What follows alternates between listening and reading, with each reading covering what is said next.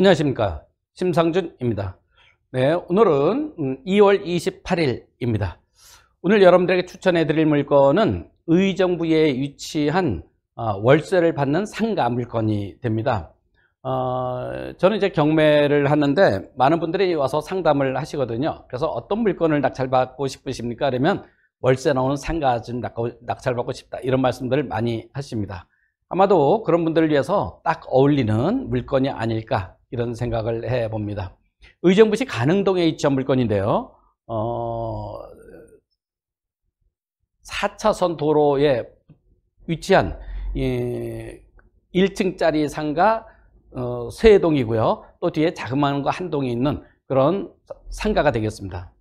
어, 여기 토지 면적이 533평입니다. 그래서 어, 시내에 굉장히 큰 땅이라고 할 수 있겠죠. 그 큰 땅에 3회, 어, 4차선 도로에 이렇게 접해져 있는 그런 상가 경매 물건이 경매가 나와서 여러분들에게 추천해 드립니다.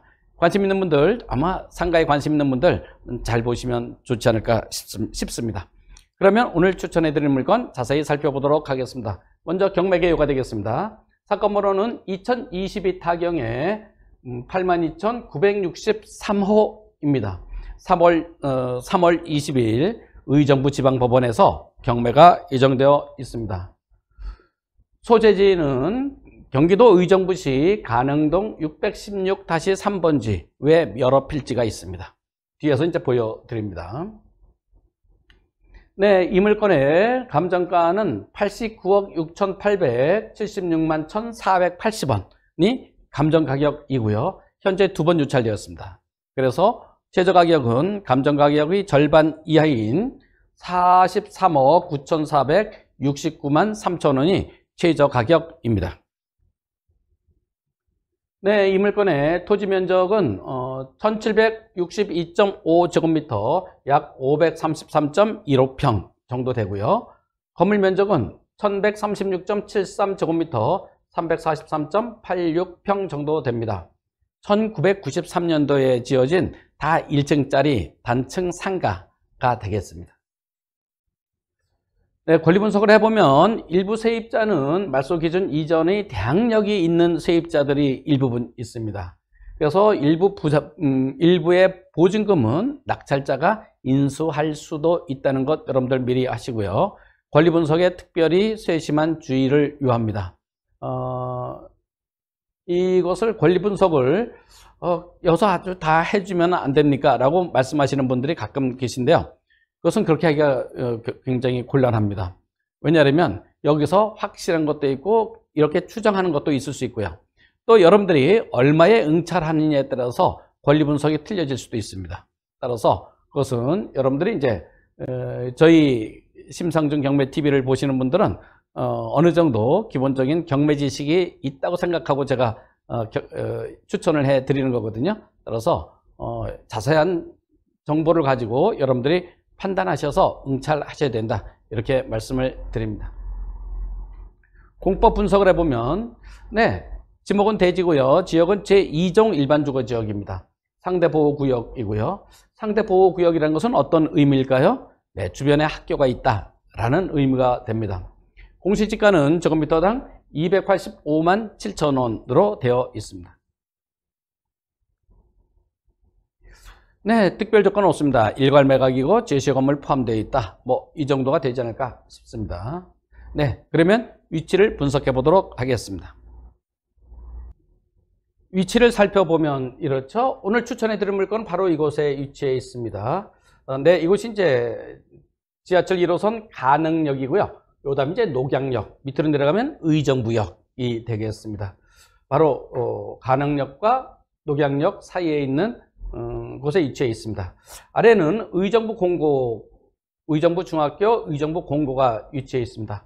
의정부 지방법원은 바로 이곳에 위치해 있죠.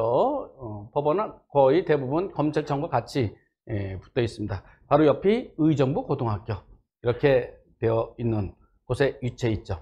의정부 공고 바로 위쪽에 위치해 있고요. 아래, 아래에는 의정부 SK비오 아파트가 위치해 있습니다. 의정부 공고, 의정부 여자중학교, 의정부 여자고등학교, 의정부 중학교, 뭐 이렇게 아, 여자중학교 이렇게 되어 있는 곳에 위치해 있습니다.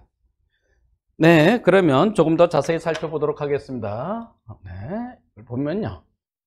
위성사진으로 보면 앞에 여기 지금 4차선 도로가 있죠? 신천로라고 있습니다. 신천로라고 위치해 있는데 여기서부터 한 필지가 아니라 이 부분이 이번에 경매가 나온 물건이다.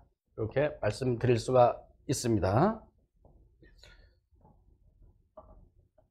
자, 그래서 한, 한 필지가 아니죠. 그러면 쭉 한번 보실까요? 네. 앞에는 앞부분에 이제 아파트가 위치해 있고, 네, 이렇게 되어 있죠. 네. 네, 이 부분은 아니고, 여기부터 이제 시작되어서, 어, 쭉 이제 이어져 있습니다. 네. 앞부분에 여기 지금 4차선 도로가 되어 있죠. 한, 한쪽에는, 네, 거주자 우선 주차구역이 있네요. 네, 이 부분, 이 건물은 2층짜리 건물이고요. 또, 그 옆으로는 1층 정, 1층짜리 건물들이 이제 쭉 연달아서 위치해 있습니다. 네. 바로 이렇게 있고. 이 안쪽으로 이제 들어갈 수 있는 문이 위치해 있습니다. 네. 편의점이 있고요.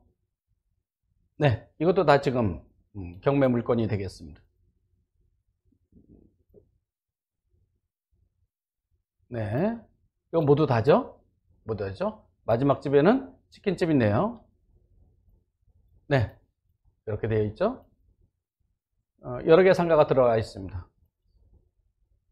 네, 바로 어, 이곳까지가 되겠습니다. 바로 이 안에 있는 건물들도 어, 지금 현재 경매 물건으로 되어 있습니다.